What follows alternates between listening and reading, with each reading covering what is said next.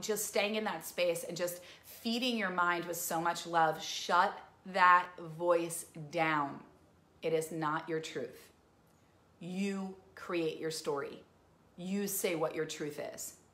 Just think about this. If your mind's talking, who's listening? You are. What do you need to hear? Not that voice. You need the voice of love. Do you get what I'm saying? So, really hear that again. If the ego's talking, who's listening?